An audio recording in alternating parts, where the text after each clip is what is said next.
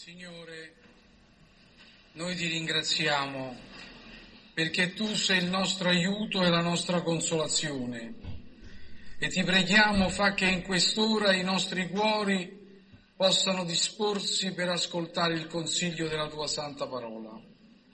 Parlaci per lo Spirito tuo, perché possiamo comprendere la nostra posizione dinanzi a te, perché possiamo essere illuminati consolati, consigliati, edificati. Guidaci per lo Spirito tuo nel nome di Gesù, benedetti in eterno. Vogliamo leggere nel capitolo 15 del Vangelo di Luca, Vangelo di Luca capitolo 15 dal verso 8. Luca 15, 8. Qual è quella donna che avendo dieci dramme, se ne perde una non accenda un lume e non spazzi la casa e non cerchi con cura finché non l'abbia ritrovata e quando l'ha trovata chiama assieme le amiche e le vicine dicendo rallegratevi con me perché ho ritrovato la dramma che avevo perduta. Così vi dico che v'è allegrezza dinanzi agli angeli di Dio per un solo peccatore che si ravvede. Il capitolo 15 del Vangelo di Luca è un capitolo molto bello nel quale Gesù presenta tre parabole, quello della pecora perduta, quello della dramma perduta quello del figliuolo o dei figliuoli perduti. Ora, generalmente si pensa che eh, queste parabole si riferiscano soltanto a diversi aspetti dell'amore di Dio, soltanto verso quelli che sono fuori, quelli che sono lontani. Ma Gesù parla invece a delle persone che non erano lontane fuori dal punto di vista fisico e anche dal punto di vista religioso, ma erano lontane e fuori dal punto di vista spirituale. E infatti la pecora che Gesù, di cui Gesù parla e che il pastore va alla ricerca, è una pecora che si è perduta fuori dall'ovile e questo indubbiamente parla di quelli che sono lontani. La dramma invece è perduta nella casa e di nuovo si ripeterà nell'ultima parabola, questa famosa parabola del figlio prodigo che chissà perché poi debba essere chiamata così, è una parabola che invece riunisce i due pensieri delle prime due parabole, in quanto Gesù parla di due figli, uno che ottenuti i beni se ne va in un paese lontano e sperpera tutto e quando si trova in difficoltà torna in sé e torna al padre ed è accolto, l'altro che è rimasto in casa ma che ugualmente è lontano, che ugualmente è infedele, che ugualmente fa soffrire il cuore del padre, perché l'uno si è perduto fuori nel paese lontano, l'altro si è perduto rimanendo in casa. Tant'è vero che quando viene a sapere che il figliuolo eh, che aveva sperperato tutto torna a casa e sente il suono della musica, della festa, eh, si risente e non vuole entrare perché dice che non è giusto, perché lui è rimasto lì, perché lui non ha avuto mai un agnello. E sviati. Il perduto è quello che va lontano, che si dimentica di tutto, come la pecora che non riesce a ritrovare la strada, o, o come il figliuolo che spende tutto in un paese lontano. Lo sviato invece è quello che si perde pur rimanendo nell'ambito della casa del Padre, ma che per qualche ragione o d'altra non si trova in un rapporto ideale col suo Dio. Ora noi guardiamo intorno a noi e vediamo questo deterioramento continuo delle condizioni del mondo. E diciamo continuamente il mondo è violento, il mondo è immorale, eh, il mondo ormai ha perduto ogni remora per quello che riguarda la correttezza, la giustizia, l'onestà, la fedeltà. E cerchiamo varie spiegazioni. Ma se dovessimo andare al fondo scopriremmo che il mondo va in quel modo unicamente perché la gente ha dimenticato Dio e la parola di Dio. La gente si è perduta, la gente si è allontanata dal Signore. E poi, se molte altre cose non vanno bene proprio in vicinanza con noi, forse piuttosto che criticare il mondo che ci circonda, dovremmo cercare il perché in noi stessi. Ora, questa parabola delle dieci dramme, o della dramma perduta meglio, è molto breve, due versi. Questa donna che a un certo punto scopre qualcosa di tremendo, scopre che questa uh, collana che gli era stata data come pegno di nozze, composta di dieci pezzi d'argento, si è rotta e va a ricercare i pezzi e scopre che di questa collana ne manca uno. Che è successo? Come mai? È mai possibile che una cosa così preziosa come un pegno delle nozze si è perduto? Perché? Come mai? Che è successo? Avrebbe dovuto tenerlo in uno scrigno, avrebbe dovuto curare attentamente perché era qualcosa di prezioso, era il pegno più prezioso della sua vita. E invece scopre che una di queste dramme d'argento si è perduta. La negligenza gli ha fatto perdere tutto. E se poi leggiamo la, la, la, parabola più attentamente scopriamo che questa donna abita in una casa che non è una casa molto abitabile, una casa che ha bisogno di essere spazzata e spazzata attentamente non è come la casa dove abitano le nostre care sorelle qui, che è una casa sempre pulita, linda, lucida, con i pavimenti bellissimi, è una, una casa che deve essere spazzata e spazzata per andare a ricercare questa moneta d'argento che si è perduta. Immaginatevi le condizioni di questa casa c'è la negligenza, c'è il disordine e indubbiamente tra la negligenza e il disordine si perde tutto. E spazzare la casa per andare a trovare una moneta vuol dire che c'era tanta di quella polvere che si era accumulata che addirittura sotto il letto, sotto i mobili e dappertutto c'era tanta polvere alta che la moneta poteva essere nascosta sotto un manto enorme di polvere. È triste, no? E se l'idea di questa casa disordinata in cui abita questa donna disordinata e, e, e negligente ci dà fastidio, credo che nessuno di noi vorrebbe abitare in una casa così. Pensiamo per un istante alla nostra condizione spirituale, con quanta facilità siamo negligenti e disordinati nei nostri rapporti con Dio al punto che perdiamo qualcosa, non tanto, ma qualcosa di quel pegno dei doni di Dio a nostro favore. Che sarà questa dramma perduta? Ognuno cerchi di individuarlo per sé Sarà la, la mancanza del nostro rapporto con Dio nella preghiera? Sarà la mancanza della meditazione della parola di Dio? Sarà la mancanza del senso di giustizia e del senso di rettitudine nei confronti degli altri?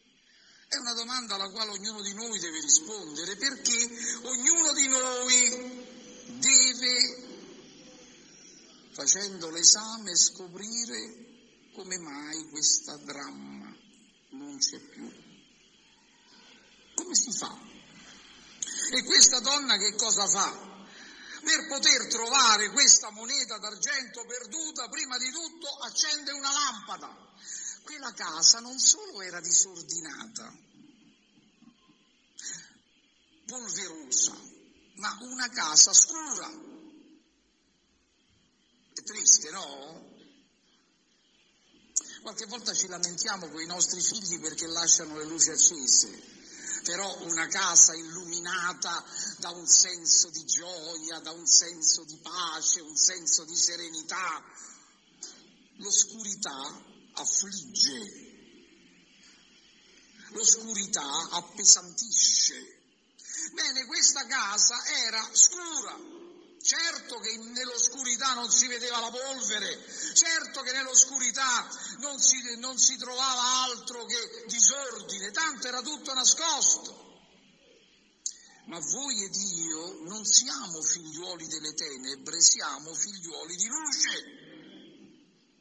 Egli ha fatto risplendere su noi la sua luce, gloria al suo nome. E ci fa essere figliuoli di luce. Quindi che fa?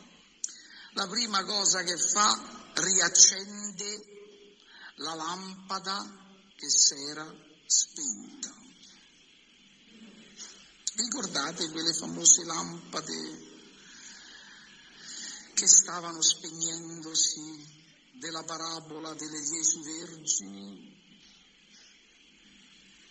È importante riaccendere il lume, perché tu ed io stiamo bene fino a che ci troviamo nell'oscurità, fino a che non abbiamo la possibilità di scoprire la realtà della nostra vita, ma quando a un certo punto lo Spirito di Dio ci aiuta e accendiamo il lume, eh, e accendiamo il lume, allora scopriamo esattamente quella che è la nostra condizione, scopriamo esattamente che siamo dei disordinati, scopriamo esattamente che abbiamo perduto qualcosa, scopriamo esattamente che siamo dei negligenti. Certo che se ciascuno di noi va a confrontarsi con la gente del mondo, eh, ma noi siamo bravi, buoni, religiosi, santi, con quelli del mondo e non con tutti. Ma se poi invece ci confrontiamo con la parola, allora scopriamo che abbiamo perduto qualcosa del pegno che Dio ci ha dato della nostra eredità. Prende questa lampada e poi lume gli dà le dà l'esatta condizione del suo stato e immediatamente comincia a spazzare la casa e la spazza bene. Eh sì, perché deve ritrovare quello che ha perduto. Io ricorderò sempre quando stavamo alla scuola biblica c'era sempre qualche studente veramente in gamba in Inghilterra ci sono tanti tappeti e guide che erano la pena nostra, che bisognava pulire tutti i giorni. Ma c'era qualcuno che faceva in fretta a fare i suoi servizi perché tutta la polvere l'andava a nascondere sotto i tappeti.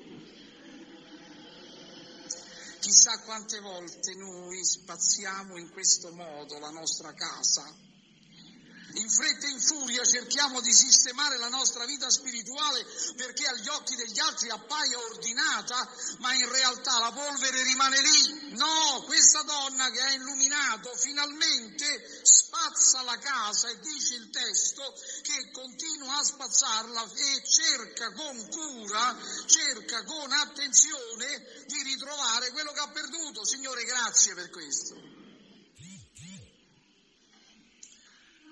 Una ricerca attenta, tutti gli angolini, sotto i mobili, dove può essersi nascosta. E questa ricerca non è certamente qualcosa di piacevole, perché dopo aver spazzato la casa si trova con un mucchio di polvere, di immondizia che non si aspettava. Il vero risveglio, la vera spiritualità non si dimostra con eh, tanta facilità, si dimostra scoprendo esattamente la nostra condizione cristiana. Ma Dio sia lodato che quella moneta, quel pezzo d'argento è ritrovato è qui la grazia di Dio che interviene. Oh, se fossimo noi al posto di Dio diremmo l'hai perduto, basta. Ma lui invece viene e ci permette di ritrovarlo. Vogliamo ritrovarlo tutti, è vero? Ognuno di noi deve sapere che cosa ha perduto per ritrovarlo e quando l'abbiamo ritrovato fare come questa donna che richiama tutti i vicini, le amiche e le vicine dicendo rallegratevi con me, ho ritrovato la dramma che avevo perduta. C'è una testimonianza, una testimonianza che non è facile, è una testimonianza che costa qualcosa. Ella deve dire l'ho ritrovata perché l'avevo perduta. Siamo noi disponibili a confessare quello che abbiamo perduto? Siamo noi disponibili a testimoniare agli altri che abbiamo dovuto spazzare il nostro cuore, che abbiamo dovuto illuminare la nostra vita, che abbiamo dovuto renderci conto che qualcosa mancava e avevamo perduto e dovevamo ritrovarlo ad ogni costo? Se ci rendiamo conto, allora noi possiamo poi testimoniare e gli altri si possono rallegrare con noi. Altrimenti la nostra esperienza è un'esperienza che non serve, è un'esperienza fittizia è inutile che questa donna andava attorno dicendo sapete, mio marito quando mi ha sposato mi ha fatto un gioiello, era una collana con dieci pezzi d'argento, sapeste quanto era bella. E adesso? Sì, ce l'ho lì da qualche parte. Sono troppi cristiani che avendo goduto della benedizione di Dio ed avendo ricevuto le grazie del Signore ne parlano come di qualcosa del passato che non serve più, la tua e la mia esperienza cristiane non sono pezzi da museo di cui se ne deve parlare, è qualcosa di cui noi dobbiamo rendercene conto giorno per giorno, perché Dio non ci ha dato la sua grazia in vano, quello che Lui ci dà ce lo dà perché possiamo testimoniare agli altri. Oh Signore aiutaci stasera, darci grazia che in mezzo a questo mondo caotico, e in mezzo alla freddezza e all'infedeltà di tanti credenti, noi possiamo essere richiamati alla ricchezza dell'eredità che Dio ci ha concesso. In fin dei conti avere nove pezzi invece di dieci, chi se ne accorge? Eh beh, se tu vai da qualcuno, se hai un gioiello e vai da qualcuno che se ne intende, se vede che ne manca soltanto una piccolissima parte, dirà, questo gioiello se fosse integro avrebbe un grande valore, ma poiché ne manca una parte, il suo valore è nullo. La tua e la mia esperienza cristiana o è globale e totale e quindi esprime la gioia di Dio, l'allegrezza di Dio, la salvezza di Dio in una forma evidente o altrimenti non avrà nessun potere sugli altri. Questa donna dovrà poi quando l'ha ritrovata, chiamare le sue amiche, le sue vicine per dire sapete avevo parlato di quel gioiello, sono andato a vederlo e ho trovato che mancava un pezzo. Oh, ma non mi sono data per vinta? Ho acceso il lume, ho spazzato la casa e lì in un angolino nascosto sotto la polvere l'ho ritrovato. Ora però questo gioiello è integro, rallegratevi con me, ora ne faccio festa perché non soltanto dico di averlo ricevuto una volta, ma ora posso goderne, ora. Signore aiutaci. Oh, che la nostra vita possa essere una vita veramente ricca, una vita esuberante, una vita abbellita dalla ricchezza di Dio e dai suoi doni. Oh, noi come pentecostali parliamo tanto dei doni, parliamo così tanto dei doni che dimentichiamo il frutto senza sapere che il primo dono che Dio fa ai suoi credenti, ai suoi seguaci, è di farci simili a Gesù, di avere la natura divina, di essere simili a Gesù. Signore, aiutaci aiutaci perché la nostra vita sia veramente ricca, non di una ricchezza fittizia. Credo di aver raccontato già un'altra volta, un certo giorno eravamo in, una, in un vecchissimo palazzo di Napoli, tutto rotto. Le le scale tutte mangiate e consumate dal tempo, scalini spezzati, muri che cadevano a pezzi. E camminando, camminando salimmo, credo, fino al terzo piano. E lì, inaspettatamente, in mezzo a quello squallore, a quella povertà e a quei ruderi, sulla porta una targa lucidissima con sopra una corona, credo che fosse un marchese o qualcosa di là, non me ne intendo molto di nobiltà, con sopra sottoscritto eh, il nome e cognome di questo uomo. Che differenza fra l'ambiente in cui lui si trovava, gli era rimasta solo la targa. A troppi cristiani rimane solo la targa.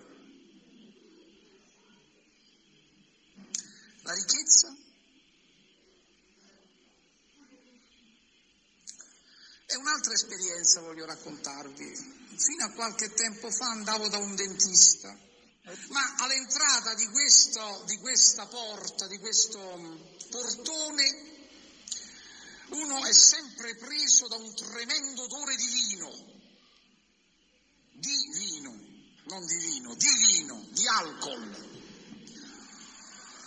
E naturalmente voi sapete come io sono fatto, a un certo punto eh, sono andato dal portiere e ho detto, senta un po', mi dica una cosa, ma come mai che lì entrando nell'androne del portone si sente sempre estate, inverno, se ci andate anche adesso, un forte odore di vino?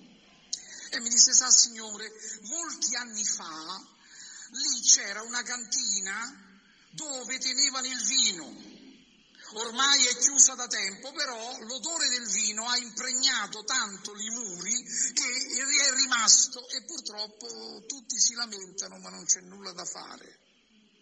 Troppi cristiani sono come quella cantina, hanno l'odore del battesimo dello Spirito Santo e della presenza di Dio, il ricordo di qualcosa, ma in realtà c'è una povertà spaventosa, non perché hanno perduto tutto, ma perché hanno perduto una parte di quel gioiello che è la grazia di Dio in Cristo Gesù, che sono i doni del suo Spirito, che è la presenza del Signore nella nostra vita. Oh, possiamo continuare a parlarne, ma è inutile. Occorre che tutti noi scopriamo la perdita, scopriamo il disordine, scopriamo la negligenza, scopriamo che ci manca qualcosa e accendiamo il lume e alla luce di questa preziosa parola scopriamo esattamente che dobbiamo spazzare il nostro cuore e chiedere allo Spirito di Dio di aiutarci a farlo per ricercare quello che abbiamo perduto. Dopodiché, quando l'avremo trovato, potremo testimoniare a tutti con gioia di essere veramente ricchi, ricchi di chi? ricchi di Dio, della sua presenza e della sua grazia. Al Signore sia la lode da ora in eterno.